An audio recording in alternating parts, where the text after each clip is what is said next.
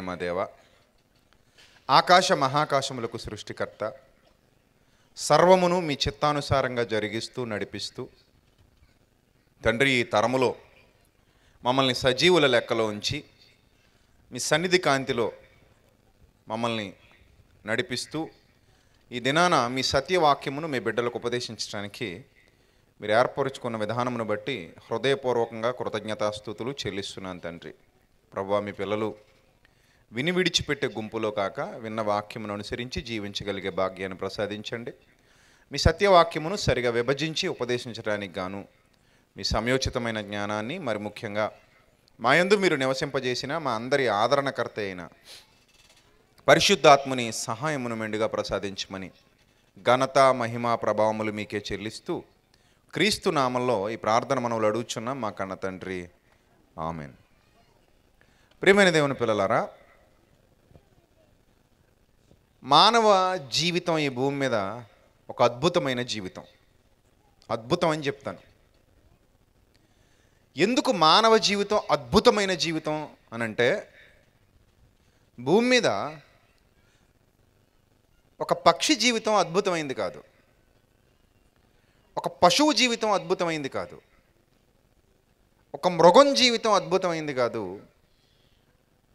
ఒక జలచరం ఒక చేప జీవితం అద్భుతమైంది కాదు. ఒక పురుగు జీవితం ఒక చీమ జీవితం అద్భుతమైంది ఏమీ కాదు. ఎందుకంటే అవి బలహీనమైనవి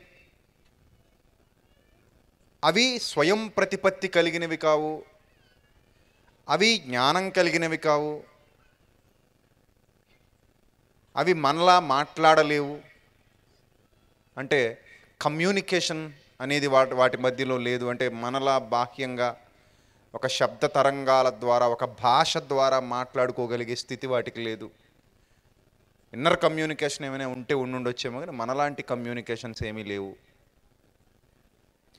మనంతటి టాలెంట్ మనంతటి స్కిల్స్ మనలాంటి ఏలికలు అవి కావు. అవి ఈ సృష్టి పుట్టినప్పుడు ఏ విధంగా చేయబడ్డాయో నేటికి అదే విధంగా ఉన్నాయి. అవునా కాదా? మీరు చెప్పండి. అవునా? పుట్టినప్పుడు సృష్టి పుట్టినప్పుడు ఏ విధంగా అవి కలుగజేయబడ్డాయో నేటికి అదే మాదిరిగా ఉన్నాయి తప్ప ఏ విధమైన చేంజెస్ వాటిలో లేవు. మీరు ఆదికాండం ప్రారంభ అధ్యాయం చదివితే ఈ ఆదికాండం ప్రారంభ అధ్యాయంలో దేవాది దేవుడు సృష్టిని ఏ విధంగా చేశాడో చాలా ఇన్ఫర్మేషన్ ఇవ్వబడింది. విచిత్రం ఏంటంటే ప్రపంచంలో చాలా గ్రంథాలు ఉన్నాయి. అందులో దైవ గ్రంథాలుగా పిలువబడుతున్నవి కూడా ఉన్నాయి కానీ ఏ గ్రంథంలో కూడా ఓపెన్ చేయగానే ఓపెన్ చేయగానే సృష్టి నిర్మాణ క్రమం గురించి ఖచ్చితమైన విలువలతో ఖచ్చితమైన ఆధారాలతో ఖచ్చితంగా ఆలోచింపజేసే విధంగా వ్రాయబడినటువంటి పుస్తకం ఎక్కడైనా ఉంది అంటే అది కేవలం మన చేతుల్లో ఉన్నటువంటి పరిశుద్ధ గ్రంథం మాత్రమే. పరిశుద్ధ గ్రంథంలో జీవ గ్రంథంలో మనం ఓపెన్ చేయగానే మనకేం కనబడుతుందంటే ఆది ఎందు దేవుడు భూమి ఆకాశములను ఏం చేశాడట? సృజించెను. ఆది ఎందు దేవుడు భూమి మరియు ఆకాశములను సృజించెను అని చెప్పి ఏ విధంగా సృజించాడో మిగిలిన విషయం అంతా కూడా అంటే ఆ ఫ్లాష్ బ్యాక్ అంతా కూడా చెప్పుకుంటూ వస్తున్నాడు. ఈ ప్రారంభ అధ్యాయంలో చాలా వింతలు విడ్డూరాలు ఉంటాయి. ఏ విధంగా ఈ సృష్టి కలిగింది? మన కళ్ళ ముందు కనబడుతుంది ఆకాశం కనబడుతుంది భూమి కనబడుతుంది ఏమి? కాకమ్మ కథలు ఏం చెప్పలేదు దేవుడు. లేనివి ఉన్నట్టు క్రియేట్ చేయలేదు. లేని విషయాలు ఏవి మనకు నేర్పించలేదు. కొత్త విషయాలు ఏవి మనకు చెప్పలేదు. ఏదైతే మనం కళ్ళతో రోజు చూస్తున్నామో దాని గురించే బైబిల్ చెప్పింది. అందుకే బైబిల్ యథార్థమైనటువంటి పుస్తకం. అబద్ధాలు చెప్పదు. కల్పితాలు చెప్పదు. అనగనగనగనగా కథలు చెప్పదు. పేదరాశి పెద్దమ్మ కథలు చెప్పదు. చరిత్రకు సంబంధించినటువంటి భూమి మీద ఎన్నో ఆధారాలు కలిగినటువంటి భౌగోళికమైన విషయాలలో ఖచ్చితత్వం కలిగినటువంటి పుస్తకం మన చేతుల్లో ఉన్నటువంటి బైబిలు. ఈ బైబిల్లో ప్రారంభ అధ్యాయాన్ని మనం గమనిస్తుంటే ప్రియమైన దేవుని ప్రజలారా అక్కడ వ్రాయబడినటువంటి ప్రతి మాట మీరు జాగ్రత్తగా చూడండి. దేవుడు ఏ విధంగా ఈ సృష్టిని చేశాడో ఏ విధంగా వెలుగు కమ్మని పలుకగా వెలుగు కలిగింది విశాలమును జలములను వేరుపరిచాడు ఆకాశమును సృజించాడు భూమిని సృజించాడు భూమి మీద మొక్కలు మొలవాలని తమ తమ జాతి ప్రకారము విత్తనములిచ్చు ఫలవృక్షాలు చెట్లు మొలవాలని ఆ విధంగా దేవుడు ఆజ్ఞాపించాడు. అవన్నీ మొలి మొలిపించాడు. అలాగే ఆకాశంలోని జ్యోతులను తయారు చేశాడు. ఇక ఆ తర్వాత మీరు ఇరవై వచనానికి వెళితే జీవము కలిగి చెల్లించు వాటిని అని ఉంది వ్రాయబడింది చూడండి. జీవము కలిగి చెల్లించు వాటిని అనగా జలములు సమృద్ధిగా పుట్టించునుగా కనియు. పక్షులు భూమిపైన ఆకాశ విశాలములో ఎగురునుగా కనియు పలికెను. చూసారా పక్షులు పశువులు జంతువులు వీటన్నిటినీ జలములలో నుండి భూమిలో నుండి సమృద్ధిగా దేవుడు పుట్టించాడు. ఏవి ఈ భూమి మీద నడయాడాలో ఏవి ఈ భూమి మీద కనబడాలో ఏవి ఈ భూమి మీద ఉండాలో అందులో పులి సింహం ఏనుగు పిల్లి ఎలుక కుక్క నక్క ఇవన్నీ కూడా ప్రతి జీవరాశిని దేవుడు సృజించాడు. ఆకాశ పక్షుల్ని సృజించాడు అడవిలోని మృగాల్ని సృజించాడు మన మధ్యలో బ్రతుకుతున్న పశువుల్ని పశుపక్ష్యాదుల్ని సృజించాడు.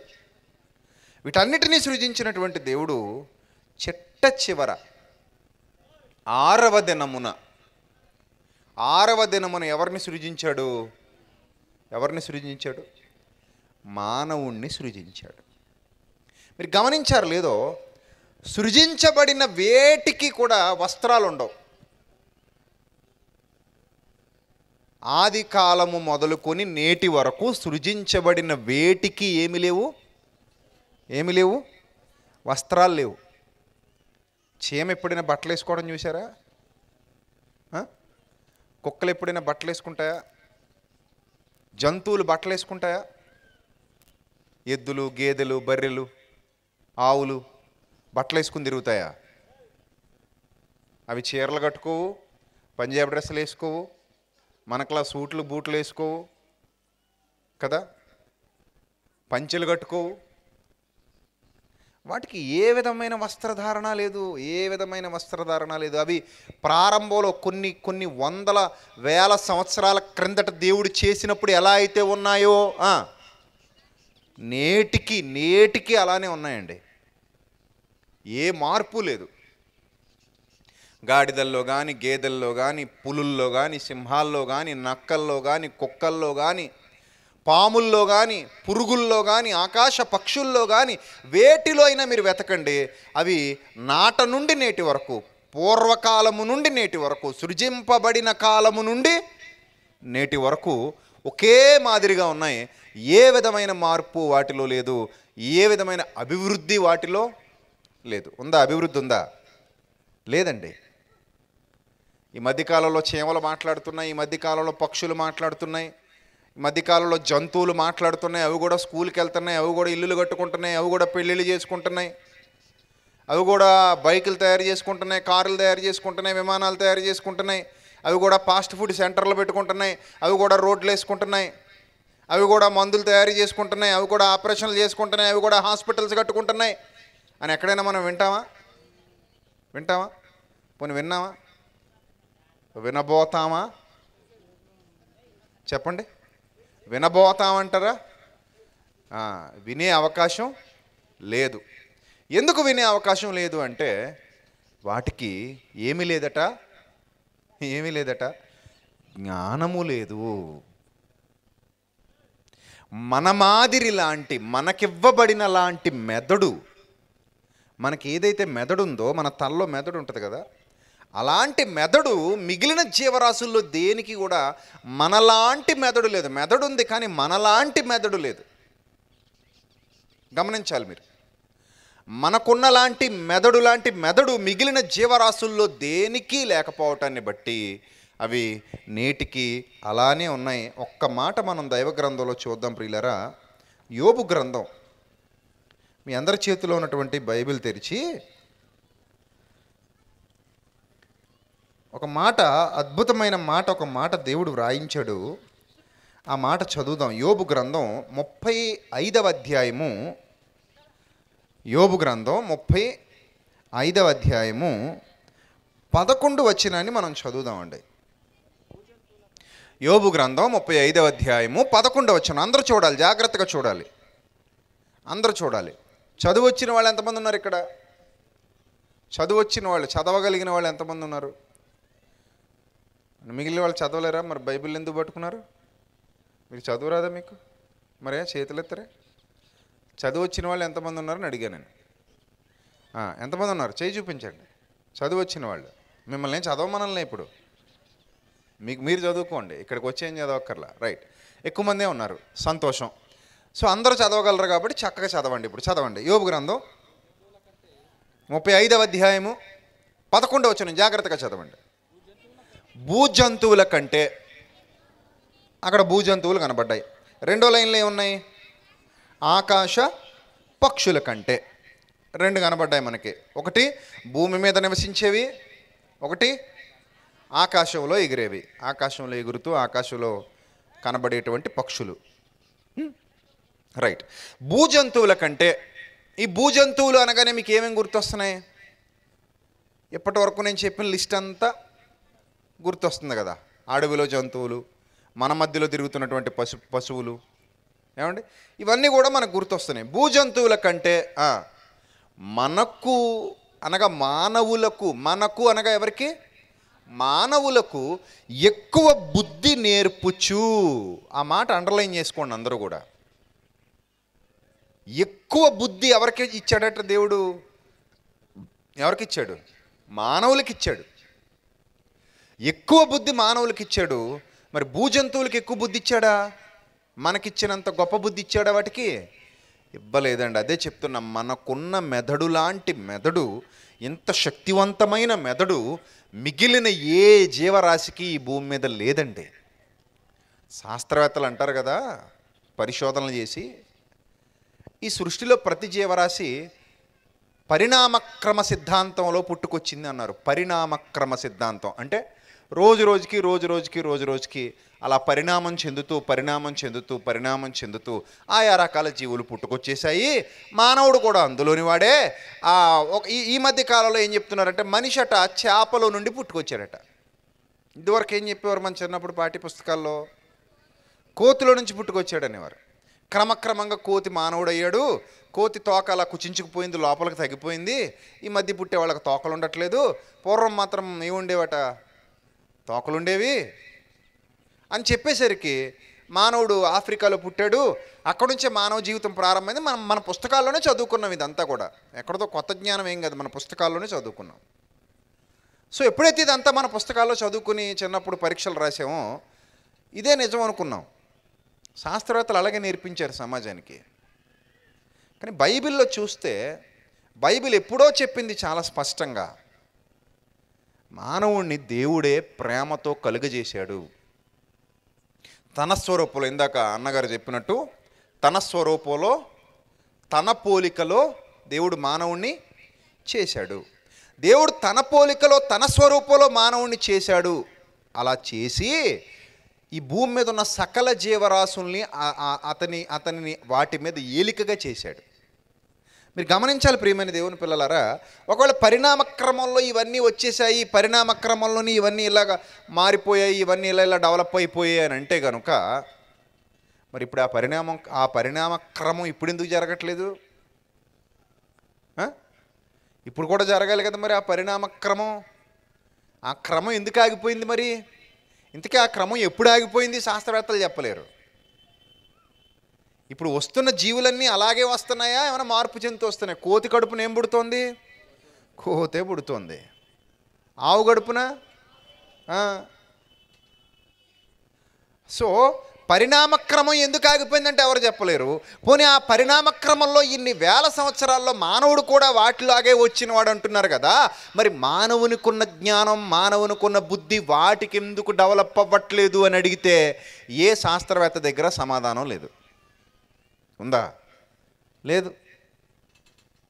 పరిణామక్రమంలోనే అన్ని జీవరాశులు వచ్చాయని చెప్తున్నారు కదా. మరి అన్ని జీవరాశులు పరిణామక్రమంలోనే వచ్చేస్తే అవేమో అలాగే ఉన్నాయి నేటికి ఒక పులి పులిలాగే ఉంది కుక్క కుక్కలాగే ఉంది సింహం సింహంలాగే ఉంది గాడిద గాడిదలాగే ఉంది ఒంటె ఒంటిలాగే ఉంది ఏనుగు ఏనుగులాగే ఉంది ఎద్దు ఎద్దులాగే ఉంది గ్రద్ద గ్రద్దలాగే ఉంది. ఇవన్నీ ఎప్పటి మాదిరిగానే ఉన్నాయి పోనీ వాటికి పుట్టే పిల్లలు ఏవైనా గొప్పగా మారుతున్నాయంటే అవి కూడా ఎప్పటి మాదిరిగానే ఉన్నాయి. ఆ పిల్లల్లో కూడా ఏమాత్రం మార్పులు లేవు. అవేవి జ్ఞానవంతంగా మారట్లేదు అవేవి గొప్పవి కావట్లేదు. కానీ ప్రియులరా మీరు గమనించండి మానవుడు నాటి పాత రాతి యుగం నుండి నేటి ఆధునిక యుగం వరకు మానవుడు రోజు రోజుకి రోజు రోజుకి రోజు రోజుకి డెవలప్ అవుతూనే వచ్చాడు. అన్ని జీవరాశుల్లో తాను ఒక జీవరాశిగా ఉన్నాడు. At the same time develop అవుతూ వచ్చాడు డెవలప్ అవుతూ వచ్చాడు. ఈరోజు ఇదిగో ఈ స్థాయిలో ఉన్నాడు మానవుడు. అదే చెప్తున్నాడు ఇక్కడ యోగ గ్రంథంలో భూజంతువుల కంటే మనకే ఎక్కువ బుద్ధి నేర్పుచున్నాడు మనకే ఎక్కువ బుద్ధి ఇచ్చాడు దేవుడు. తర్వాత ఆకాశ పక్షుల కంటే మనకే ఎక్కువ జ్ఞానం ఇచ్చాడు ఎస్ మనకే ఎక్కువ జ్ఞానం ఇచ్చాడు అవి ఎప్పటికీ గడ్డి తింటున్నాయి. మన పూర్వీకులట మన పూర్వీకులు పచ్చివి తినేవారట. పచ్చివి తినేవారు. జ్ఞానం ఉంది కాబట్టి తర్వాత ఏం చేశాడట ఆది మానవుడు? వండుకొని తినడం మొదలుపెట్టాడు. ఈరోజు రకరకాల వంటలు వండుతున్నారు. అంతేనా? దాదాపు ఒక ముప్పై నలభై ఏళ్ళ క్రిందట పల్లె ప్రాంతాల్లో బిర్యానీ అంటే ఏంటో తెలియదు నిజం చెప్పండి తెలుసా? ఓ ముప్పై నలభై ఏళ్ళ క్రిందట మన చిన్నతనంలో పెళ్ళిళ్ళు అయితే ఏం పెట్టేవారండి? పెళ్ళి జరిగితే ఏం పెట్టేవారు మన చిన్నతనంలో? ఒక ముప్పై ఏళ్ళ క్రిందట పెళ్ళి జరిగితే భోజనాలు ఏ భోజనాలు ఏముండేది? చక్రాన్నం అంటే మీ పరమాన్నం అంతే కదా? చక్రాన్నం అంటే ఏంటి? పరమాన్నం. చక్ర అంటే బెల్లం వేసి ఉండేవారు. బెల్లంతో చేసేవారు పరమాన్నం. అంటే పెళ్ళి అయితే స్పెషల్ అది. లేదంటే పులిహోర. అంతే కదా? స్పెషల్ అంటే ఏంటి? పులిహోర పరమాన్నం. ఆ రెండు తప్ప కొత్తగా బిర్యానీ పరిచయం అయినప్పుడు మీరు ఎలా ఫీల్ అయ్యారు చెప్పండి? ఇది ఏందండి ఇది? దీన్ని బిర్యానీ అంటారండి. ఆహా బాగుంటుందండి. చాలా బాగుంటుందండి. ఓహో ఇందులో చికెన్ వేసి వండుతారా? మటన్ కూడా వేసి వండుతారు. ఓకే. కొత్తగా బిర్యానీ పరిచయం అయినప్పుడు నేను నిజంగా చెప్తున్నాను అప్పుడు నేను తొమ్మిదో తరగతి చదువుతున్నాను. నేను ఎయిత్ క్లాస్ కానీ నైన్త్ క్లాస్ కానీ సరిగా గుర్తులేదు ఆ రెండింటిలో ఏదో ఒకటి. ఐ థింక్ ఎయిత్ క్లాస్ అయి ఉండొచ్చు. ఆ టైంలో అన్నవరం మీకు తెలుసు కదా అన్నవరం. తెలీదుగా? అన్నవరం తెలియదులేండి మీకు. అన్నవరం అని ఒక ఊరు ఒక ఒక ఒక ప్రాంతం ఉంది ఆ వైజాగ్ వెళ్ళే దారిలో తగులుతుంది ఒక కొండ. మీకు రైల్వే స్టేషన్కి రైలు రైలు మీద వెళ్ళే వాళ్ళకి తగులుతుంది. వైజాగ్ ట్రైన్ మీద వెళ్ళే వాళ్ళకి తగులుతుంది. అక్కడ కొన్ని దేవాలయాలు కూడా ఉన్నాయి పుణ్యక్షేత్రం అది. అది దాటిన తర్వాత లోపలికి కొన్ని పల్లెటూర్లు ఉంటాయి. నా స్నేహితుడికి అక్కడ వివాహం. నేను ఎనిమిదో తరగతి చదువుతున్నాను. ఆ వివాహానికి అని చెప్పేసి బస్సులు పెట్టి అందరినీ తీసుకెళ్ళారు. తీసుకెళ్తే అక్కడికి వెళ్ళిన తర్వాత ఆ ఊర్లో పెద్ద కుటుంబం అమ్మాయి వాళ్ళది. నాకు తెలిసి ఆ ఊరు ప్రెసిడెంట్ గారు అనుకుంటాను ఆయన. మా స్నేహితుడు అంటే మా అన్నయ్య స్నేహితుడు నాకు స్నేహితుడు నేను చిన్నోడిని మా అన్నయ్య స్నేహితుడు కాబట్టి నాకు స్నేహితుడు అనమాట నా క్లాస్మేట్ ఏం కాదు. నేను ఎనిమిదో తరగతి చదువుతున్నా కానీ మా అన్నయ్యతో మా అన్నయ్య స్నేహితుడు కాబట్టి నన్ను కూడా తీసుకెళ్ళారనమాట నాకు స్నేహితుడు అయ్యాడు. నేను వయసులో చిన్నవాడిని అయినప్పటికీ. సో వెళ్ళాం. బస్సులో అందరిని తీసుకెళ్ళారు. పెళ్ళికి వెళ్ళిపోయాం. ఆ పెళ్ళిలో ఫస్ట్ టైం బిర్యానీ అట ఆ ఊర్లో. అప్పటి వరకు ఆ ఊరికి బిర్యానీ అంటే ఏంటో నిజంగానే తెలియదు ఆ పెళ్ళి కూతురి కోసం స్పెషల్గా వాళ్ళ నాన్నగారు ఫస్ట్ టైం బిర్యానీ చేయించారు ఇక చూడండి లైన్లో కుమ్ములాట ఎలా ఉందంటే అక్కడ కుర్చీ వెనకాల ముగ్గురు నలుగురు ఉండేవారు. అంటే ఎప్పట్లాగా బఫే కాదు కదా అప్పుడు. మామూలుగా బల్లలేసి బల్లల వెనకాల కుర్చీలేసి ఎవరికి వాళ్ళు కూర్చొని తినడమే ఆకుల్లో పెట్టుకొని. సో ఎప్పుడైతే బిర్యానీ అన్నారో ఆ ఊరు ఊరు మొత్తం ఏదో కొత్త రకం వంటకం అట. ప్రెసిడెంట్ గారు అమ్మాయి పెళ్ళట కొత్త రకం వంట వండుతున్నారట. ఇది అర్జెంటుగా రుచి చూసేయాలి. ఏ? అంటే కొత్తది కదా. టేస్టీగా ఉంటుందట. బిర్యానీ అట పలావ్ అట దాని పేరు. ఇప్పుడు అర్జెంటుగా తినాలని చెప్పేసి చాలామంది వచ్చేసారు అక్కడి నుంచి వాళ్ళకి ఆ వంట ఏమైంది? తినగా తినగా తినగా ఏమైంది? ఆ?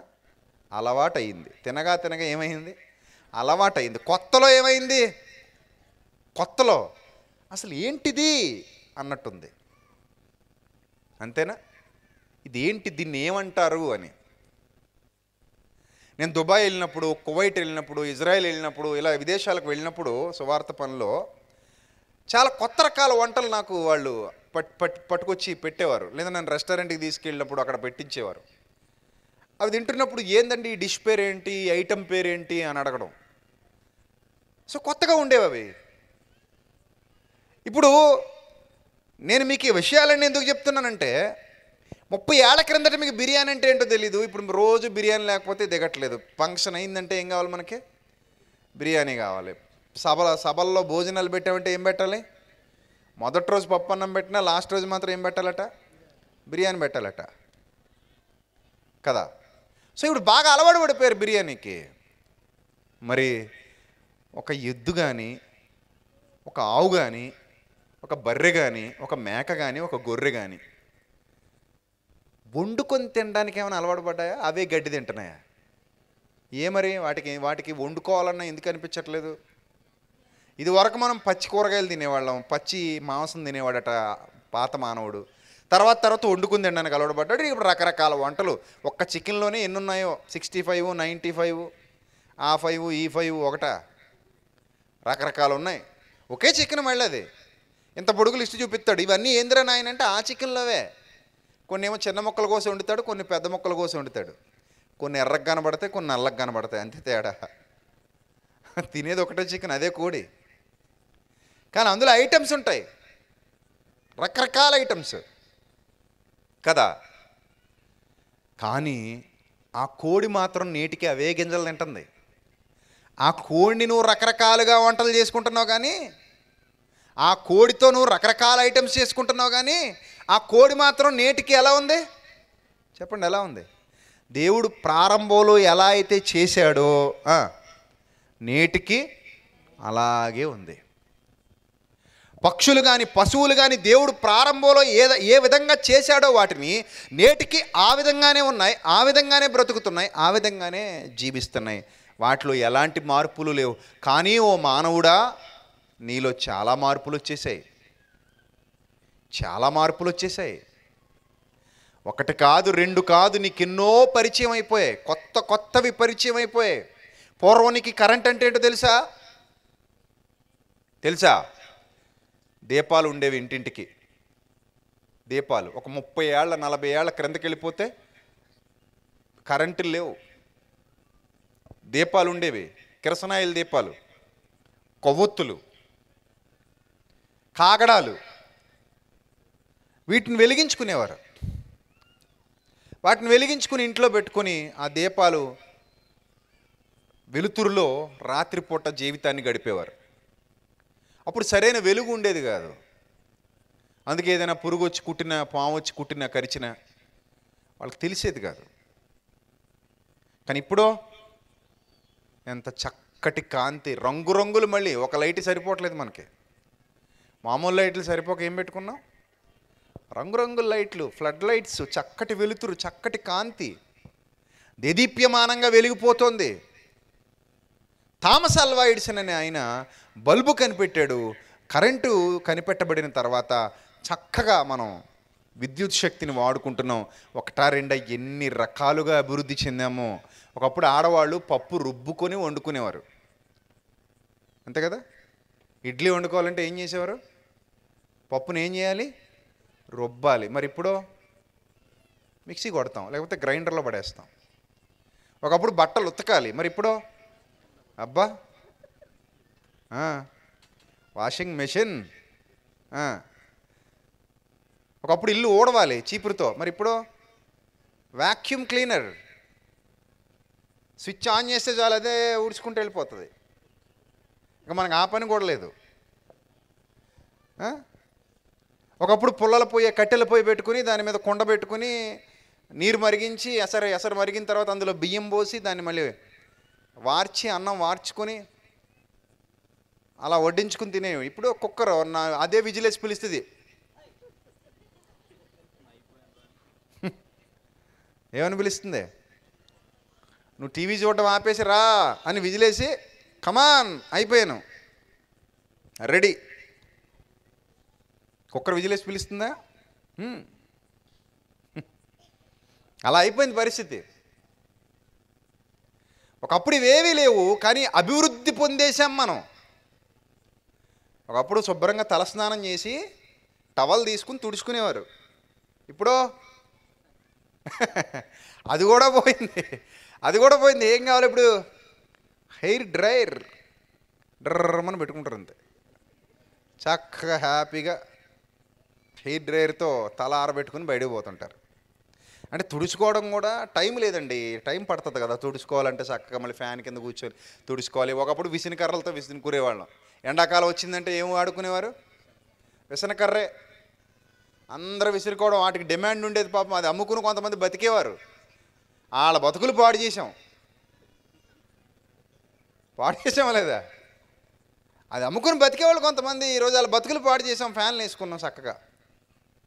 హ్యాపీగా ఫ్యాన్లు ఫ్యాన్లతో ఆగిపోయామా కూలర్ల దాకా వెళ్ళినాం కూలర్లతో ఆగిపోయావా? ఏసీల దాకా వెళ్ళినాం చూసారా మానవుడు ఎంత డెవలప్ అయిపోతున్నాడో రోజు రోజుకి. చాలా డెవలప్ అయిపోయారు మానవులు. ఒకటి కాదు రెండు కాదు అన్ని విషయాల్లో డెవలప్ అవుతూనే వస్తున్నారు డెవలప్ అవుతూనే వస్తున్నారు. ఒకప్పుడు ఉత్తరాలు రాసుకునే వాళ్ళం మనం. ఉత్తరాలు. ఆ ఉత్తరాలు కాస్తా ట్రంకాలయ్యింది. ల్యాండ్ ఫోన్ దాకా వచ్చింది. ఆ ల్యాండ్ ఫోన్ కాస్త ఇప్పుడు ఎక్కడైనా ఉన్నాయి ల్యాండ్ ఫోన్లు అసలు? లేవు. వాకీ టాకీలు వచ్చాయి. ఈ వాకీ టాకీలు కాస్త పోయి మొబైల్స్ వచ్చాయి. ఈ మొబైల్స్ కాస్త పోయి ఆండ్రాయిడ్ మొబైల్స్ వచ్చాయి. ఇప్పుడు లేటెస్ట్ టెక్నాలజీ స్మార్ట్ ఫోన్స్ వచ్చేసాయి. వీడియో కాల్స్ మాట్లాడుకుంటున్నాం. ఎక్కడున్న వారినైనా సరే వీడియోలో చూసి మాట్లాడుతున్నాం. వీడియోలో చూసుకుంటున్నాం ఒకరికొకరు. చాలా అందంగా మాట్లాడుకుంటున్నారు వీడియోలో చూసి. ఏం కూర ఉండవు చూపించి. ఇదిగో ఇదే. అంట్లు తోమేవా లేదు? ఇదిగో ఇక్కడే ఉన్నాయి. ఇందులో ఉన్నాయి. బాత్రూమ్కి వెళ్ళినా ఫోన్ తీసుకుపోతున్నారు. బెడ్రూమ్కి వెళ్ళినా ఫోన్ తీసుకుపోతున్నారు. ఇక ఏ పని చేసినా ఆ ఫోన్ పట్టుకునే చేస్తున్నారు. ఎంత డెవలప్ అయిపోయారు? మరి ఒక పక్షికి లేదా ఈ జ్ఞానం? ఒక పశువుకి లేదా ఈ జ్ఞానం? ఒక చీమకి కుక్కకి పందికి ఎలక్కి వీటికి లేదా జ్ఞానం లేదు. ఎందుకు లేదు అంటే అవి దేవుని స్వరూపంలో దేవుని పోలికలో చేయబడినవి కావు. దేవుడు తన కుమారులైన తన పిల్లలైన మానవులకు మాత్రమే ఈ జ్ఞానాన్ని అనుగ్రహించాడు. మానవులకు మాత్రమే అనుగ్రహించాడు ఈ జ్ఞానాన్ని. మానవుల్ని ఆయన పోషిస్తున్నాడు. మానవులకి ఆయన ఇక్కడ బ్రతుకునిచ్చాడు. మానవుల్ని ఆయన కాపాడుతున్నాడు. మానవుల్ని ఆయన సంరక్షిస్తున్నాడు. మనకి ఊపిరినిస్తున్నాడు. చూడండి అపోస్తుల కార్యాల్లో ఒక మంచి మాట చెప్తాడండి. అపోస్తుల కార్యాలు పదిహేడవ అధ్యాయము ఇరవై ఇరవై ఐదో వచ్చిన ఒకసారి చదువుదాం అందరం. అపోస్తుల కార్యాలు పదిహేడవ అధ్యాయము. ఇరవై ఐదో వచ్చిన ఒకసారి చదవండి ఏం రాయబడింది అక్కడ? ఆయన అందరికిని అందరికిని అనగానే? మానవులందరికీ. ఆయన అందరికిని జీవమును ఊపిరిని సమస్తమును దయచేయువాడు గనుక. ఏమన్నాడండి? ఆయన అందరికిని జీవమును ఊపిరిని జీవము ఊపిరి జీవము ఊపిరి ఎంత విలువైన పదాలండి. ఈ కరోనా వచ్చాక వాటి విలువేటో బాగా అర్థమైంది జనాలకి. ఊపిరి ఊపిరి అంటే ఏంటో తెలుసా? ఊపిరి అంటే ఆక్సిజన్ అండి ప్రాణవాయువు ప్రాణవాయువు. ఎప్పుడు మనం డబ్బులు పెట్టుకోలేదు దాన్ని. కానీ ఇప్పుడు హాస్పిటల్కి వెళ్తే ఆక్సిజన్ పెట్టండి బాబోయ్ అంటే రోజుకి ఎంత అడుగుతున్నారట? ఒక్కో చోట పదివేలు పదహైదు వేలు ఇరవై వేలు ముప్పై వేలు ఒక చోట డబ్బులు ఇస్తానన్నా కూడా ఏం లేదట? ఆక్సిజన్ లేదట ఇప్పుడు మనకి. ఆక్సిజన్ కొరత ఏర్పడింది హాస్పిటల్స్లో అని చెప్తున్నారట. కానీ ఇప్పుడు ఇంతమంది ఉన్నామండి. ఇంతమంది ఉన్నారు. ఎవరికైనా ఆక్సిజన్ కొరతగా ఉందా? వేదిక మీద కానీ కింద కానీ ఎవరికైనా ఆక్సిజన్ కొరత ఉందండి చక్కగా పీల్చుకుంటున్నాం. ఉచ్ఛ్వాస నిశ్వాసములు జరుగుతున్నాయి. ప్రశాంతంగా పీల్చుకుంటున్నాం గాలి. ఎవరిచ్చారు చెప్పండి? ప్రభుత్వాలు ఇచ్చాయా? మన ఏరియా ఎమ్మెల్యే గారు ఉఫ్ అని ఊదుకుంటూ వెళ్తున్నారా? మరి ఎవరు వెళ్తున్నారు మీద మీ ఊరు ప్రెసిడెంట్ గారు ఏమైనా పంపిస్తున్నారా మీకు? మన ఎమ్మెల్యే గారు కానీ మన ఎంపీ గారు కానీ మన మంత్రి గారు కానీ మన ప్రధానమంత్రి గారు కానీ ఇవ్వరండి ఇవి? ఊపిరి అనేది ఎవరివ్వాలి? దేవుడివ్వాలి. ఊపిరి పీల్చుకుంటున్నాం శ్వాస నిశ్వాసాలు జరుగుతున్నాయి మనకి. ఆయన ఇస్తున్నాడు మనకి సమస్తాన్ని ధారాళముగా దయచేస్తున్నాడు. జీవము జీవప్రదాత జీవ అధిపతి జీవమునకు కర్త జీవమై ఉన్నవాడు. ఆయన మనకి జీవమునిచ్చాడు. ఈ భూమి మీద మనం జీవించి ఉన్నాము. ఇక్కడున్న ఈ అశాశ్వతమైనది అయినప్పటికీ అరవై డెబ్బై ఏళ్ళుండి వెళ్ళిపోయేది అయినప్పటికీ ఇక్కడ ఈ జీవము అనేది ఉంది అంటే దానికి కారకుడు ఎవరు అంటే ఒకే ఒక ఆన్సర్ అల్టిమేట్ ఆన్సర్ ఏంటంటే ఓన్లీ అవర్ లార్డ్ గాడ్. ఆయనే దేవుడు. మన ప్రభు అయిన దేవుడు. సర్వశక్తిమంతుడైన దేవుడు సర్వోన్నతుడైన దేవుడు సర్వ సృష్టికి ఆధారభూతుడైనటువంటి దేవుడు మానవుణ్ణి రోజు ఇలా నిలబెట్టినటువంటి దేవుడు మానవుడికి సమస్తాన్ని దయచేస్తున్నటువంటి దేవుడు మానవుణ్ణి పోషిస్తున్నటువంటి దేవుడు మానవుడికి సమృద్ధికరంగా సమస్తాన్ని అనుగ్రహించినటువంటి దేవుడు. ఆయన వలననే నువ్వు ఎంత ఎత్తుకి ఎదిగినా. అర్థమవుతుందా? ఈ ప్రకృతిలో కొత్తదంటూ ఏదీ లేదు. ఆల్రెడీ ఆయన పెట్టిన దాన్నే నువ్వు కనిపెట్టుకుంటున్నావు అంతే. అర్థమైందా? నువ్వు కనిపెట్టావు. కరెంటు కనిపెట్టావు. ఆల్రెడీ ఆయన పెట్టిన దాన్ని నువ్వేం చేసావు కనిపెట్టావు. మొన్న నిన్న దేవనకొండ మండలానికి వెళ్ళాం. వివాహానికి హాజరయ్యాం నిన్న మొన్న. వెళ్తున్నప్పుడు అక్కడ పెద్ద పెద్ద ఫ్యాన్లు తిరుగుతున్నాయి. ఏందా ఫ్యాన్లు? గాలిలో నుంచి ఏం తీస్తున్నారు కరెంట్ ఉత్పత్తి చేస్తున్నారు. ఆ ఫ్యాన్ తిరుగుతోంది అంటే పెద్దది. మీరు చూసారా? చూడలేదా? అలాంటివి రాయలసీమ ప్రాంతంలో చాలా చోట్ల కనబడతాయి మీకు. అటు తెలంగాణలో కానీ రాయలసీమలో కానీ చాలా చోట్ల కనబడతాయి. పెద్ద పెద్ద ఫ్యాన్స్ ఏదో సెల్ ఫోన్ టవర్లాగా ఉంటాయి. అవి తిరుగుతూ ఉంటాయి. అవి తిరుగుతూ ఉంటే ఏమవుతుంది? ఏం ఉత్పత్తి అవుతుంది? విద్యుత్ అంటే గాలిలో నుండి కూడా ఏం తీసేస్తున్నారు? కరెంట్ తీసేస్తున్నారు. జల విద్యుత్ కేంద్రాలు. పెద్ద పెద్ద ప్రాజెక్టుల దగ్గర జల విద్యుత్ కేంద్రాలు ఉంటాయి. అంటే వాటర్లో నుండి కూడా ఏం తీసేస్తున్నారు? కరెంట్ తీసేస్తున్నారు. బొగ్గులో నుండి కూడా ఏం తీసేస్తున్నారు?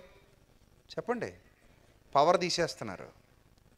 అంటే ఇప్పుడు ఇంత పవర్ జనరేట్ అవుతోంది అంటే అది ఎక్కడిది ఆల్రెడీ? దేవుడు ఆల్రెడీ ప్రకృతిలో పెట్టినదే కొత్తదేం కాదు. మనం ప్రకృతిలో దేవుడు పెట్టిన దానిని మనం ఏం చేసాం కనిపెట్టాం. ఓ బొగ్గులో నుండి పవర్ తీయొచ్చు. గాలిలో నుండి విద్యుత్ శక్తిని తీయొచ్చు. నీటిలో నుండి కూడా కరెంటు ఉత్పత్తి చెయ్యొచ్చు. అలా ఉత్పత్తి అయిన కరెంటుని ఇదిగో ఈ విధంగా మనం వాడుకోవచ్చు. అని మానవుడు దేవుడు పెట్టిన దానిని కనిపెట్టాడు. ఇవన్నీ ప్రకృతిలో ఉన్నవేనండి కొత్తవేవి కాదు. ఆ కెమెరాలు కానివ్వండి ఈ సౌండ్ సిస్టమ్ కానివ్వండి యాంప్లిఫైర్స్ కానివ్వండి మైక్స్ కానివ్వండి ప్రొజెక్టర్స్ కానివ్వండి ఇదిగో వీళ్ళు వాయిస్తున్నటువంటి ఈ హార్మోనియం ఈ తబలా ఈ పరికరాలు కానివ్వండి ఈ ఇలాంటివన్నీ కూడా ఎక్కడివి? ఎక్కడివి? ప్రకృతిలోనివే. ప్రకృతిలో ఉన్న వాటిని మానవుడు ఏం చేశాడు? కనిపెట్టాడు. ఓ దీన్ని ఇలా తయారు చేసి ఇలా వాడుకోవచ్చు. దీన్ని ఈ విధంగా తయారు చేసి ఈ విధంగా వాడుకోవచ్చు. తిండి దగ్గర నుంచి బట్ట దగ్గర నుంచి వస్తువుల దగ్గర నుంచి జీవన విధానంలో అన్ని విషయాలలో మానవుడు ప్రతిరోజు డెవలప్ అవుతున్నాడు అంటే దానికి కారణం దేవుడు మనకిచ్చినవి. కంప్యూటర్స్ కూడా ప్రకృతిలో ఆల్రెడీ ఉన్నవే. వాటిని మనం కనిపెట్టుకుని ఏం చేసుకుంటున్నాం రోజు రోజుకి? డెవలప్ చేసుకుంటున్నాం. ఈ ప్రకృతిలో కనబడుతున్న ప్రతిదీ దేవుడు మనకిచ్చినది. తన పిల్లలైన వారికి బహుమానంగా ఇచ్చాడు. అట్ ద సేమ్ టైం దేవుడు వాళ్ళకి జ్ఞానం ఇచ్చి అరే నాయన మీరు కనిపెట్టుకొని తీసుకోండి అన్నాడు. జ్ఞానం ఇవ్వబట్టే మనం కనిపెట్టగలిగాం. జ్ఞానం ఇవ్వకపోతే మనం కనిపెట్టలేము అర్థమవుతుందా? ఒక్కొక్కరికి ఆయన జ్ఞానం అనుగ్రహించబట్టి ఒక్కో శాస్త్రవేత్త ఒక్కోటి కనిపెట్టుకుంటూ వచ్చాడు. ఈరోజు మనం అనుభవిస్తున్నవన్నీ ఎవరో కనిపెట్టినవే ఈ ప్రకృతిలో నుండి. ఇంకా భవిష్యత్తులో ఇంకా చాలా విషయాలు కనిపెడతారు కనిపెట్టచ్చు. ఇంకా కొత్త టెక్నాలజీ రావచ్చు ఇంకా కొత్త కొత్త ఇన్వెన్షన్స్ ఇన్వెన్షన్స్ జరగవచ్చు ఆవిష్కరణలు. ఇవన్నీ మనం చూస్తాం. అయితే ప్రియులరా మానవుడు ఇన్ని చేస్తున్నాడు కదా ఇన్ని చేస్తున్నాడు కదా మానవుడు. తనను సృష్టించిన దేవుడు ఎక్కడున్నాడని ఏ మానవుడైనా ఆలోచిస్తున్నాడా? చెప్పండి. ఇన్ని ఆలో ఇన్ని అనుభవిస్తున్నాడు మానవుడు ఇంత డెవలప్ అయిపోయాడు. భూమిలో నుంచి నీళ్ళు బయటికి తెస్తున్నాడు ఆకాశంలోనికి ఎగిరి వెళ్ళిపోతున్నాడు. ఎక్కడెక్కడికో రాడార్లు శాటిలైట్స్ రాకెట్స్ ఒకటా రెండా ఎంత ఎత్తుకెదిగిపోయాడో? మానవుడు ఎంత ఎత్తుకెదిగిపోయాడో? అరవై లేదా డెబ్బై ఏళ్ళు ఉండి వెళ్ళిపోయే ఈ జీవితంలో మానవుడు పొందిన అభివృద్ధి అంతా ఇంత కాదు. ఈ ప్రపంచంలో ఏ జీవరాశి దాదాపు ఎనభై నాలుగు లక్షల జీవరాశులు ఉన్నాయని చెప్తున్నారు ప్రపంచంలో. ఎనభై నాలుగు లక్షల జీవరాశుల్లో ఏ జీవరాశికి లేనంత గొప్పదైన అభివృద్ధి మానవుడు పొందుకున్నాడే? కానీ ఏ మానవుడైనా ఏ క్షణంలో అయినా ఒక్కసారి ఇవన్నీ చూసుకొని నేను కారులో తిరుగుతున్నాను మేడల్లో ఉంటున్నాను మిద్దెల్లో ఉంటున్నాను ఏసీ రూముల్లో ఉంటున్నాను మంచి ఆహారం తింటున్నాను భూమి నా కోసం ఇప్పటికీ పండుతుంది నేను కేవలం విత్తనాలు విత్తి ఇంటికి వచ్చేస్తే చక్కటి పంట నా చేతికిస్తుంది జొన్నలు వస్తున్నాయి రాగులు వస్తున్నాయి వరి వస్తుంది గోధుమలు వస్తున్నాయి. నాకు కావలసిన ఆహార పదార్థాలు నాకు కావలసిన కూరగాయలు నాకు కావలసిన సమస్తాన్ని నేను భూమిలో నుండి సంపాదించుకుంటున్నాను. నాకు ఏ లోటు రాకూడదని ఆ పరలోకపు తండ్రి నాకు సమస్తాన్ని ఇస్తున్నాడు. నాకు ఏ లోటు చేయలేదు ఆయన. నన్ను పోషిస్తున్నాడు ఒక పోషకుడుగా. ఆయన ఎక్కడున్నాడు? ఎవరు నాకు ఇవన్నీ ఇస్తున్నారు? ఎవరు నాకు ఊపిరిని దయచేస్తున్నారు? ఎవరు నాకు పీల్చుకోవటానికి గాలిని ఇస్తున్నారు? నేను కొనుక్కోవట్లేదు గాలిని. నేను నిద్రలో పడుకొని దుప్పట కప్పుకున్నా అది నా ముక్కులోనికి వచ్చి చేరుతోంది. నా శ్వా నా యొక్క శ్వాస నాళాల గుండా శ్వాస రంధ్రాల గుండా అది లోపలికి వెళుతోంది. అని ఎవరైనా ఆలోచిస్తున్నారా? ఎవరు ఆలోచించట్లేదు. అసలు దేవుడు ఉన్నాడా అని మనిషికి ఏమొచ్చిందట? అనుమానం వచ్చిందా? సిగ్గుండాలండి ఆ మాట చెప్పడానికి. సిగ్గుపడాలి. దేవుడు ఉన్నాడా అని మనిషికి అనుమానం వచ్చిందట? ఇన్ని చూస్తూ ఉన్నా కూడా మనిషికి నమ్మకం కలగలేదండి. ఎవరు చేస్తున్నారండి ఇదంతా? ఎవరు చేస్తున్నారు? దేవుడు లేకపోతే? దేవుడు కాకుండా ఇవన్నీ చేసేది ఎవరు నీ మీద వర్షాన్ని ఎవరు కురిపిస్తున్నారు? మేఘాలలో నుండి ఆ ప్రక్రియ ఎలా జరుగుతోంది? ఊరికే వచ్చేస్తుందా వర్షం? ఆ ప్రక్రియ జరగడానికి కారణం ఎవరు? దేవుడు కాదా? ఋతువులు వస్తున్నాయి చక్కటి ఋతువులు ఫలవంతములైన ఋతువులు. అవన్నీ జరగడానికి కారణం దేవుడు కాదా? సముద్రాలు పొంగి పొరలిని మన మీదికి రాకుండా ఇసుకతో వాటికి సరిహద్దును నిర్ణయించాడే సర్వోన్నతుడైన దేవుడు. అది దేవుని వల్ల జరిగే కార్యక్రమం కాదా? ఈరోజు నీకు నాకు బ్రతుకుందే. అమ్మ కడుపులో చక్కటి నిర్మాణం జరిగిందే తొమ్మిది నెలల పాటు. ఎవరు చేశారు మనల్ని ఇలాగా? ఎవరు చేశారు? దేవుడు కదా. ఆయన లేకపోతే మనకు బ్రతుకుందా? ఆయన లేకపోతే మనకు జీవితం ఉందా? ఆయన లేకుండా మనం ఒక్క అడుగైనా ముందుకు వేయగలవా ఆయన లేకుండా ఈ ప్రకృతిలో అసలు మనం బ్రతకగలవా భూమిని నడిపిస్తున్నది ఆయనే. సూర్యుడిని రప్పిస్తున్నది ఆయనే. చంద్రుడిని రప్పిస్తున్నది ఆయనే. నక్షత్రములను కదిలింపజేస్తున్నది ఆయనే. రాత్రి పగలు ఏర్పరుస్తున్నది ఆయనే. మానవుడు ఎంత అజ్ఞానంలోకి వెళ్ళిపోయాడండి? ఎంత అజ్ఞానంలోకి వెళ్ళిపోయాడు? ఈరోజు మానవులు చాలామంది ఏం చెప్తున్నారు తెలుసా?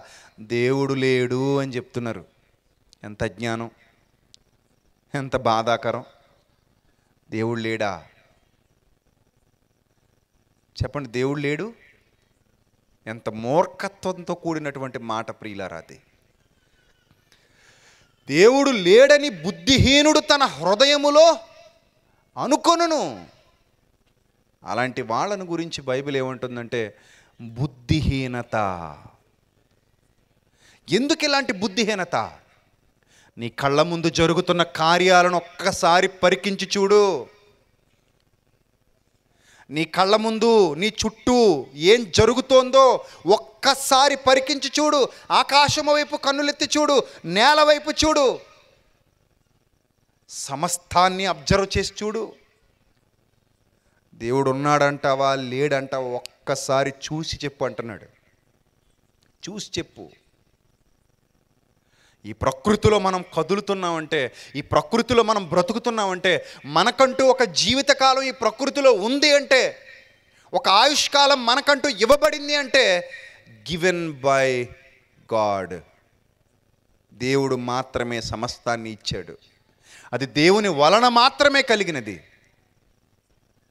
దేవుడు తప్ప మరెవ్వరూ దీనిని మనకు ఇవ్వలేదు. ఇవ్వలేరు ఇవ్వలేరు. ఇవ్వాలనుకున్నా ఇవ్వలేరు. ఇవ్వాలనుకున్నా ఇవ్వలేరండి. ఊపిరిని ఎవరండి ఇవ్వగలరు? ప్రధానమంత్రి కూడా చేతులెత్తేసాడు మన మోదీ గారు. ఏమంటున్నాడు? జాగ్రత్తగా ఉండండి అమ్మా ఆక్సిజన్ కొరతగా ఉందంటున్నాడు. ప్రధానమంత్రి చేతులు ఎత్తేసాడు ఇవ్వలేడు ఆయన. ఆయన వల్ల కాదు ఊపిరినివ్వడం. జీవమునివ్వగలరా ఎవరైనా? ఎంతోమంది చనిపోతున్నారే? చనిపోయిన వారిని మరలా బ్రతికించగలిగే అధికారం మానవునికుందా? లేదు. ఎందుకంటే జీవమునకు అధిపతి దేవుడు గనుక. మనకు జీవమునిచ్చినవాడు ఆయన. మనకు జీవాన్ని పోసినవాడు ఆయన మనల్ని జీవింపజేస్తున్నవాడు ఆయన నువ్వు అనుకుంటే బతకట్లేదు చిన్న. గుర్తుపెట్టుకో. నువ్వు అనుకుంటే బతకట్లేదు. నువ్వు కావాలనుకుంటే బతకట్లేదు. నీ గొప్పతనం వల్ల నువ్వు బతకట్లేదు. నీ శక్తి సామర్థ్యాల వల్ల నువ్వు బతకట్లేదు. మరి ఎలా బ్రతుకుతున్నావు నువ్వు? దేవుడు మనకి సమస్తాన్ని జీవాన్ని ఊపిరిని దయచేశాడు కనుక మనం ఏం చేస్తున్నాం? బ్రతుకుతున్నామండి. మరి అలాంటప్పుడట దేవుడు ఏం రాయించాడు ఒకసారి చూడండి. అదే అపోస్తుల కార్యాల పదిహేడవ అధ్యాయము. ఇరవై ఆరో వచనం. మరియు యావత్ భూమి మీద కాపురముండుటకు ఆయన ఒకని నుండి ప్రతి జాతి మనుష్యులను సృజించి వారు ఒకవేళ దేవుని తడవులాడి కనుగొందురేమో అనట ఏమనట? దేవుణ్ణి ఏ ఏ విధంగా కనుగొందురేమో అని? తడవులాడి కనుగొందురేమో అని ఆయనను వెదకు నిమిత్తము. ఆయనను ఏమి చేయు నిమిత్తము? వెదకు నిమిత్తము నిర్ణయ కాలములను. వారి నివాస స్థలము యొక్క పులిమేరలను ఏర్పరిచెను. దేని నిమిత్తం అట? నిర్ణయ కాలం దేని నిమిత్తం? మన నివాస స్థలం యొక్క పులిమేర దేని నిమిత్తం? ఇవన్నీ దేని నిమిత్తం ఏర్పరిచారట? ఆయనను వెదకు నిమిత్తము. అంటే మానవుడా నువ్వు పొందే అభివృద్ధి వెనక నీ దేవుడే ఉన్నాడయ్యా. కనిపించని దేవుడు ఉన్నాడయ్యా. నువ్వు ఈరోజు అనుభవిస్తున్న అను అనుభవిస్తున్న సంపదంతా ఆయనదేనయ్యా. నువ్వు ఏ- ఈరోజు ఏదైతే గొప్ప స్థితిలోకి వెళ్ళిపోయాను అనుకుంటున్నావో ఆకాశ హర్మియానాలు కట్టేసుకున్నాను అనుకుంటున్నావో ఈ శక్తి అంతా ఎవరిదో అనుకుంటున్నావు? దేవుని అనుమతి. నేను దుబాయ్కి వెళ్ళినప్పుడు బుర్జ్ ఖలీఫా అని ఉంటుంది దుబాయ్లో. ప్రపంచంలోని అత్యంత ఎత్తైన బిల్డింగ్ నూట అరవై ఐదు అంతస్తులు దాదాపు. ఆ బుర్జ్ ఖలీఫా మీదకి వెళ్ళినప్పుడు దుబాయ్ మొత్తం ఇంచుమించుగా కనబడదు దాని మీద నిలబడితే. అసలు దాన్ని చూసి ఇది ఒక వింత అని చెప్పుకుంటారు అందరూ. ఇది ఒక వింత. నేను ఫేస్బుక్లో పెట్టాను నా ప్రొఫైల్ పిక్లో కూడా పెట్టాను అది. ఆ బుర్జ్ ఖలీఫా ఎలా ఉంటుందో. సో అక్కడికి వెళ్ళిపోయిన తర్వాత ఈ దుబాయ్ మొత్తం కనబడుతూ చిన్న కిందనున్న పెద్ద పెద్ద బిల్డింగ్స్ చిన్న చిన్నవి కనబడతా ఉంటాయి ఆ పైకి వెళ్ళిపోతే. అక్కడ నిలబడి మానవుడు అనుకుంటున్నాడు ఫోటోలు తీసుకుంటూ నేను చాలా ఎత్తులో ఉన్నాను అనుకుంటున్నాడు. నేను చాలా గొప్పవాడిని అయిపోయాను అనుకుంటున్నాడు. నా మేధస్సు చాలా గొప్పది. నా ఇంజనీరింగ్ టెక్నాలజీ చాలా గొప్పది. నన్ను మించిన మొనగాడు లేడు. నాకంటే సమర్థుడు లేడెవడు? చాలా గొప్పవాడు అనుకుంటున్నాడు. అఫ్ కోర్స్ గొప్పవాడివే. కానీ నాయన దేవుని కంటే గొప్పవాడివి కావునైనా. నువ్వు నూట అరవై ఐదు అంతస్తుల బిల్డింగ్ మీద నిలబడినా ఆయన కాళ్ళ క్రిందే ఉన్నావన్న విషయం మర్చిపోకూడదు. మన తలలకు పైగా ఉన్నవాడు ఆయన మన తలలకు పైగా నిలిచి ఉన్నవాడు ప్రకాశిస్తున్నవాడు ఆయన మనం ఎంత ఎత్తుకెదిగినా ఎక్కడున్నాం? ఆయన పాదాల క్రిందే ఉన్నాం. ఆ విషయాన్ని ఎందుకు మర్చిపోతున్నాం మనం? ఆ? విషయాన్ని ఎందుకండి మానవుడు మర్చిపోయాడు? మర్చిపోయాడు. ఆయన ఇస్తున్న సమస్తాన్ని అనుభవిస్తున్నాడు. ఆయన వలననే ఇంత గొప్పవాడయ్యాడు. ఆయన వలననే ఇన్ని పేరు ప్రఖ్యాతులు సంపాదించాడు. ఆయన వలననే ఇంత జ్ఞానాన్ని పొందుకున్నాడు. ఆయన వలననే ఇంత టెక్నాలజీని డెవలప్ చేసుకోగలిగాడు. ఆయన పర్మిషన్ లేకుండా మనం ఇంత టెక్నాలజీని ఎలా డెవలప్ చేయగలమండి? ఆయన ఇచ్చాడు కాబట్టే మనం డెవలప్ చేయగలిగాం. మెటీరియల్ మొత్తం ఎవరిది? రా మెటీరియల్ అంతా ఎవరిది? దేవుడిది. రా మెటీరియల్ మొత్తం దేవుడిది. ఆయన ఇచ్చాడు కాబట్టి నువ్వు రకరకాలుగా డెవలప్ చేసుకోగలిగావు రకరకాలుగా అభివృద్ధి చేసుకోగలిగావు. ఆయన ఇవ్వకపోతే నువ్వు ఏమీ చేయలేవు. ఆయన ఇవ్వకపోతే నీ వల్ల ఏది జరగదు నీ వల్ల ఏది కాదు. కానీ మానవుడు ఎంత దుర్మార్గపు స్థితికి వెళ్ళిపోయాడంటే ఆయనను వెతుకు నిమిత్తము ఇస్తేనట. ఆయనను వెతికేవాడు ఎవడైనా ఉన్నాడండి భూమి మీద? ఉన్నాడా? ఎవరండి వెతికేది డబ్బులు వెతుకుతున్నారు. ఆస్తులు వెతుకుతున్నారు. అంతస్తులు వెతుకుతున్నారు. ఇక్కడేవో రాయలసీమలో ఎక్కడ ఉన్నట రంగురాళ్ళు ముత్యాలు దొరికేస్తున్నాయట వజ్రాలు. ఇగో ఈయన దగ్గరే.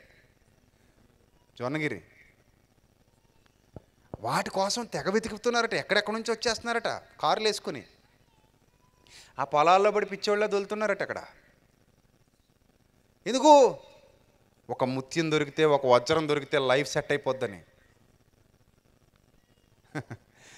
వజ్రం వెతుక్కుంటున్నాడు కానీ వజ్రాలు వజ్ర వైఢూర్యాలు సమస్తాన్ని ఇచ్చిన ఆయన వెతుక్కోవట్లేదు మూర్ఖుడు. పిచ్చోడా ఒక వజ్రం దొరికితే అరవై ఏళ్ళు వాడుకోవచ్చు డెబ్బై ఏళ్ళు వాడుకోవచ్చు ఆ తర్వాత నువ్వు పోతావు ఆ వజ్రం ఇక్కడే ఉంటుంది. మళ్ళీ ఇంకోటి తీసుకుంటాడు ఆడో డెబ్బై ఏళ్ళు వాడుకుంటాడు మళ్ళీ ఇక్కడే ఉంటుంది. ఇంకోటి పోతాడు చెయ్యి మారుతుంది అంతే చెయ్యి మారుతుంది అంతే తప్ప నువ్వు పట్టుకెళ్ళలేవు దాన్ని. ఒకప్పుడు కోహినూరు డైమండ్ కోసం యుద్ధాలే చేసుకున్నారట. ఆ డైమండ్ ఇక్కడే ఉంది యుద్ధాలు చేసుకున్న వాళ్ళు మాత్రం మట్టిలో కలిశారు ఎవడు లేడు ఇక్కడ. మరి పిచ్చోడు కాకపోతే ఏమనాలి మానవుణ్ణి? వజ్రాన్ని వెతుకుతావా? వజ్రాలు ఇచ్చిన వాడిని వెతుకుతావా? బంగారాన్ని వెతుకుతావా? బంగారాన్ని ఇచ్చిన వాడిని వెతుకుతావా? దేన్ని వెతుకుతావు నువ్వు? ఈ సృష్టిలో దేన్నండి వెతికేది మనం? ఏదైనా వెతకండి. కొంతకాలమేనండి అది. ఆస్తులు మనతో రావు అంతస్తులు మనతో రావు వెండి బంగారాలు మనతో రావు వజ్ర వైడూర్యాలు మనతో రావు. ఈ భూమి మీద మనం సంపాదించింది ఏది మనతో రాదు. ఈ భూమి మీద మనం పోగు చేసుకున్నది ఏది మనతో రాదు. ఈ భూమి మీద నువ్వు ఏదైతే సంపాదించి ఒక పక్కన పెట్టుకున్నావో అది ఏది నీతో రాదు. అది నువ్వు మోసం చేసి సంపాదిస్తున్నావా? అన్యాయం చేసి సంపాదిస్తున్నావా? అక్రమం చేసి సంపాదిస్తున్నావా? నువ్వు ఏం చేసి సంపాదిస్తున్నావు? న్యాయంగా సంపాదిస్తున్నావా? నువ్వు ఎలా సంపాదించినా సరే నీదంటూ ఈ భూమి మీద ఏది లేదు. నాది అనేది ఏదీ లేదు. చివరికి దేహం నాది అంటావేమో. ఇది కూడా నీది కాదు. ఇది కూడా నీది కాదు. నాదనుకుంటున్న ఈ దేహం కూడా నీది కాదు. దాన్ని కూడా నువ్వు ఎక్కడ వదిలేస్తావు? మట్టి వదిలేస్తావు. మన్నైనది వెనుకటి వలె మన్నైపోవును. ఆత్మ దాని దయచేసిన దేవుని వద్దకు వెళ్ళిపోతుంది. మరి ఏదయ్యా నీది? దేన్నయ్యా వెతకాలి? ఎవరిని వెతకాలి? ఎవరిని వెతుకుతున్నావు? ఎవరిని వెతుకుతున్నావు? ఏ రోజైనా దేవుని కోసం వెతికావా? ప్రభువా ప్రభువా అని ఆకాశం వైపు ఎప్పుడైనా కన్నులెత్తి చూసావా? ఆకాశం వైపు ఎప్పుడైనా కన్నులెత్తావా? మన కళ్ళు ఎప్పుడు ఎక్కడున్నాయి? భూమి మీద ఉన్నాయి. మనం కిందికి చూస్తున్నాం తప్ప ఎప్పుడు పైకి చూడట్లేదు. కానీ బైబిల్ ఏం చెప్తుందో తెలుసా? ఓ ప్రియ సంఘమా మీరు పైనున్న వాటి మీదనే కానీ భూ సంబంధమైన వాటి మీద మనస్సు పెట్టుకొనకుడి అంటోంది బైబిల్. మీరు వేటి మీద పెట్టాలట దృష్టి? పైనున్న వాటి మీద. ఎప్పుడైనా వెతికావా? పైకి చూసావా ఎప్పుడు పైకి చూడవు? మరి ఎప్పుడు ఎక్కడ చూస్తావు? కిందికే. పంది చూపులన్నీ. పంది చూపులను ఎందుకు అంటున్నావు అంటే పంది ఎప్పుడు పైకి చూడదు. నేను ఎప్పుడు ఇంతవరకు చూడలే పైకి చూడడం అది ఎప్పుడు ఎక్కడ చూస్తుంది? కిందకే చూస్తే తల ఉంచుకుని వెళ్ళిపోద్ది పెళ్ళి కూతురులాగా. కదా? అది ఎప్పుడు తలదించుకునే ఉంటుంది పెళ్ళి కూతురులాగా. చక్కగా పోద్ది తలదించుకొని ఎప్పుడు పైకి చూడదు. అందుకే అన్నాడు దేవుడు కూడా దాంతోనే పోల్చాడు ఇలాంటి వాళ్ళని. కడుగబడిన పంది మరలా బురదలో దొర్లునట్టు అని వాటితోనే పోల్చాడు. ఇక వివేకం లేని వాళ్ళను సుందరంగా ఉన్నా కూడా దాని ముక్కునున్న బంగారు కమ్మితో పోల్చాడు.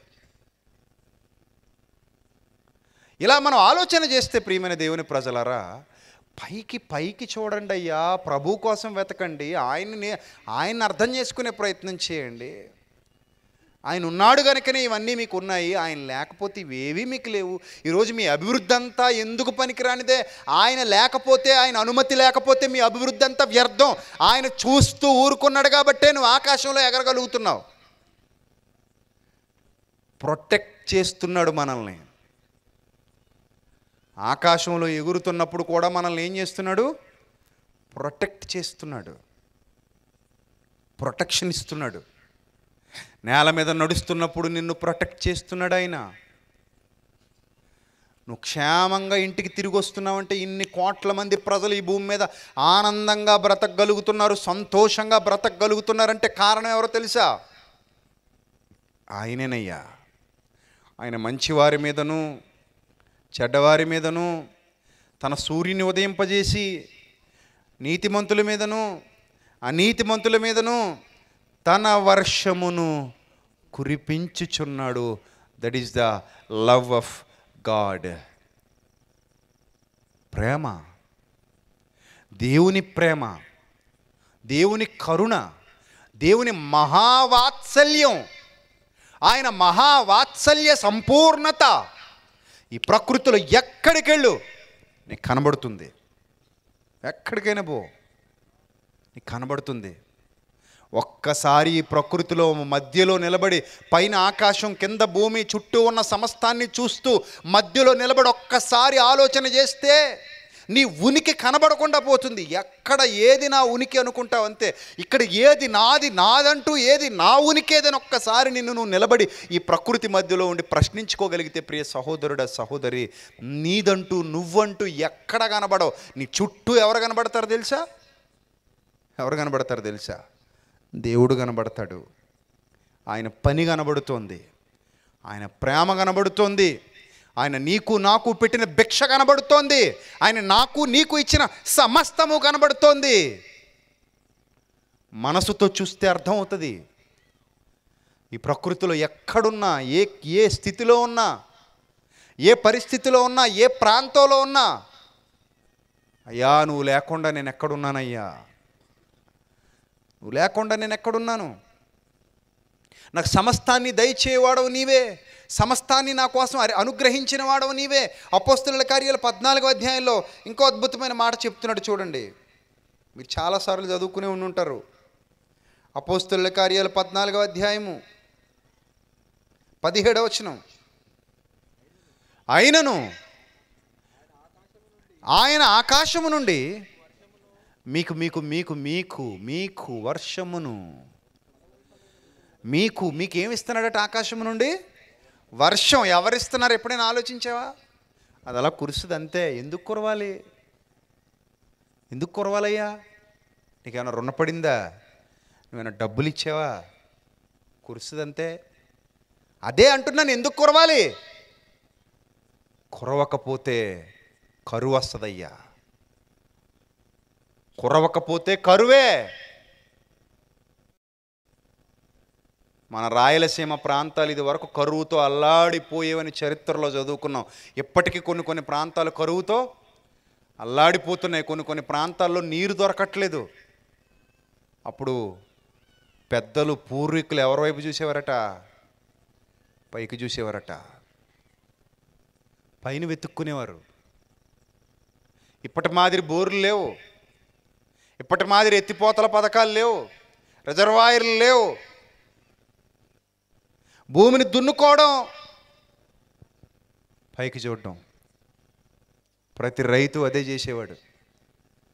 భూమిని దున్నుకొని పైకి చూసేవాడు. దేవుడు కరుణించి అయ్యో పాపం పైకి చూస్తున్నాడు. అయ్యో పాపం పైకి చూస్తున్నాడని దేవుడు వర్షాన్ని కురిపిస్తున్నాడు. ఆయన అయ్యో పాపం వర్షం కురిపిస్తే వర్షం కురిసిన తర్వాత పంట తినేసి పాపం మొదలు పెడుతున్నాడు. చూసారా ఆయన ఆకాశము నుండి మీకు వర్షమును ఫలవంతములైన ఋతువులను దయచేయచ్చు ఫలవంతములైన ఋతువులు ఆ ఋతువులు లేకపోతే నీకు మామిడి పంట ఉండదు.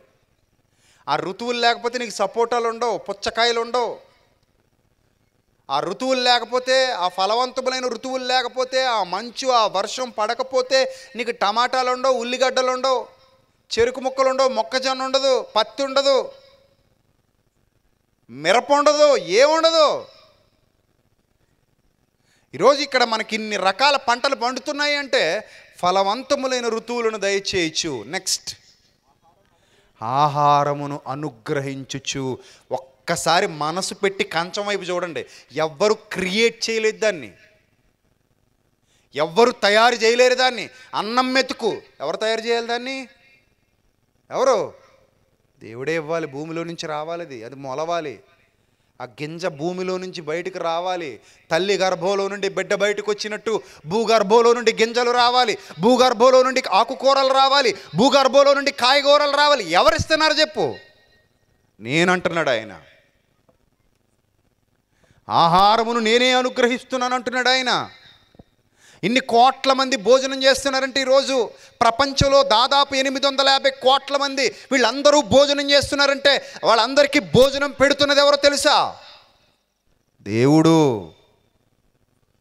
ఆహారమును అనుగ్రహించుచు ఉల్లాసముతో మీ హృదయములను నింపుచు మీకు నిత్యమూ మేలు చేయుట చేత మీకు అనుక్షణము మేలు చేయుట చేత మీకు ప్రతి క్షణము తన మేలును రుచి చూపించుట ద్వారా తనను గూర్చిన సాక్ష్యము లేకుండా చేయలేదని బిగ్గరగా చెప్పిరి. దేవుడిస్తున్న సాక్ష్యం అయ్యా ఇదంతా.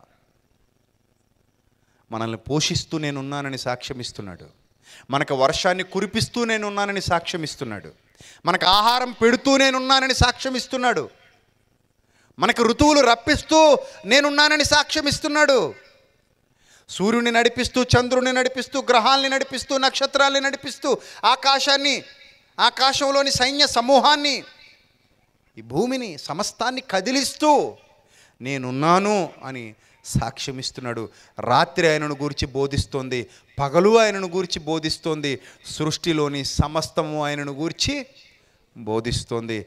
కానీ మానవుడు నేటికి అర్థం చేసుకోలేకపోయాడు. ఎందుకు బ్రతుకుతున్నాడో ఆ మానవుడికి తెలియట్లేదు. బ్రతుకుతున్నాడు అంతే తింటున్నాడు తాగుతున్నాడు ఎంజాయ్ చేస్తున్నాడు లోకమంతా నాదే అనుకుంటున్నాడు ఎక్కడికి కావాలంటే అక్కడ పరుగులు తీస్తున్నాడు ఎలా కావాలంటే అలా బ్రతుకుతున్నాడు ఎలా కావాలంటే అలా జీవిస్తున్నాడు. దేవుణ్ణి వెతికే విషయంలో మాత్రం మరిచిపోయాడు. ప్రకృతిలోని జీవరాశుల్ని చూసి చూసి నాకింత జ్ఞానం వీటికంటే గొప్ప జ్ఞానం ఎక్కడిది నాకు? ఎవరిచ్చారని ఆలోచించి వాడే లేకుండా పోయాడు. ఇది అభివృద్ధి అనాలా? చెప్పండి అభివృద్ధి అనాలా? తల్లి పాలు తాగి రొమ్ము కోసేయటాన్ని అభివృద్ధి అనరండి. దాన్ని అభివృద్ధి అనరు. దేవుణ్ణి మరిచిపోయి భూమి మీద బ్రతకటాన్ని ఎట్టి పరిస్థితుల్లోనూ అభివృద్ధి అని చెప్పకూడదు. అది అభివృద్ధి కాదు. పతనావస్థకు వెళ్ళిపోతున్నాం మనం. పతనావస్థకు వెళ్ళిపోతున్నాం. దేవుడు లేకుండా దేవునికి చోటు లేకుండా దేవునికి విలువ లేకుండా మానవుడు బ్రతకాలనుకుంటున్నప్పుడే అతని పతనానికి అతను బాటలు వేసుకున్నాడని అర్థం.